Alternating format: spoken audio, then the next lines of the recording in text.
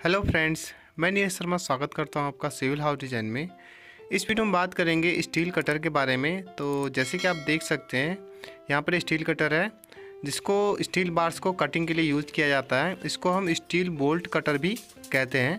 तो इस steel cutter को यूज़ करने से कई सारे एडवांटेज हो सकते हैं, जैसे कि इसको यूज़ करने से लेबर कॉस्ट बचती है और हमारा समय भी बचता है और किसी तरह का खतरा भी नहीं रहता, जैसे कि स्टील बार को काटने के लिए छेनी का यूज़ किया जाता है। तो वहाँ पर थोड़ा खतरा रहता है तो यहाँ पर आसानी से इस स्टील कटर से स्टील बार को काटा जा सकता है।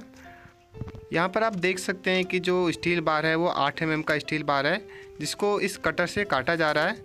इसका जो ये कटर है, इसका जो धार है, वो थोड़ा मुड़ चुका है, इसलिए इसको काटने के बाद तोड़ना पड़ रहा है। अगर इसका धार प्रॉपर अच्छा रहेगा तो ये एक बार में ही आठ एम के सरिया को काट देता है। आठ एम के साथ साथ ये दस एम का सरिया को भी एक बार में काट देता है। उसके बाद इसको बारह एम के सरिया को काटने के लिए भी यूज़ किया जाता है, जिसको काटने के बाद तोड़ा जाता है। इस कटर के रेट के बारे में बात करूँ तो ये कटर 800 से 2000 रुपए तक का मिल जाता है। इसको आप ऑनलाइन भी देख सकते हैं। मैं इसका अमेज़ोन लिंक नीचे डिस्क्रिप्शन में दे दूँगा, वहाँ से आप इसको देख सकते हैं।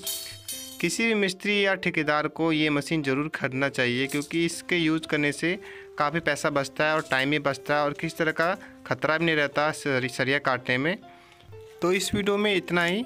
वीडियो पसंद आएगा तो वीडियो को लाइक ज़रूर कीजिए और चैनल अगर चैनल पर नए हैं तो चैनल को सब्सक्राइब कीजिए। और अगर आपको किसी साइज़ के प्लॉट पर हाउस प्लान डिज़ाइन करवाना है तो उसके लिए आप हमसे कांटेक्ट कर सकते हैं। जिसमें आपको एक से डेढ़ रुपये पर स्क्वायर फीट में हाउस प्लान दिया जाएगा, जिसको आप एक हफ़्ते या एक महीने तक आराम से चेंजेस करा सकते हैं।